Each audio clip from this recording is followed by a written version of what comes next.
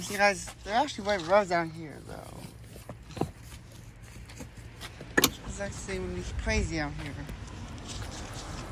Public's like crazy. Also, if I step right here, oh, I'll end up getting one on my shoes.